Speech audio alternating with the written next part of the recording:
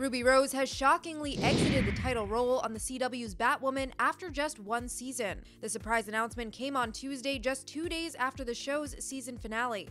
Although Rose did not give a specific reason for her departure, both the actress and producers Warner Brothers Television and Berlanti Productions praised one another in statements announcing her exit from the series.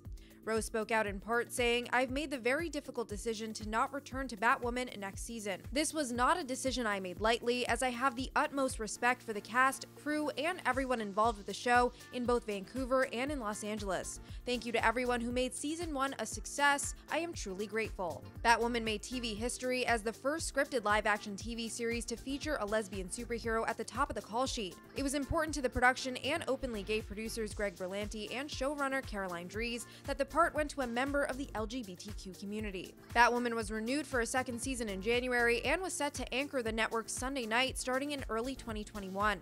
With Rose's departure, the CW series is left without a lead actress. However, Warner Brothers Television says the role will indeed be recast. In a joint statement, the CW, Warner Brothers Television, and Berlanti Productions thanked Rose for her contributions on the show and added, The studio and network are firmly committed to Batwoman's second season and long term future, and we, along with the show's talented creative team, look forward to sharing its new direction, including the casting of a new lead actress and member of the LGBTQ community in the coming months. For more on this story, head to the article on thr.com. For the Hollywood Reporter News, I'm Neha Joy.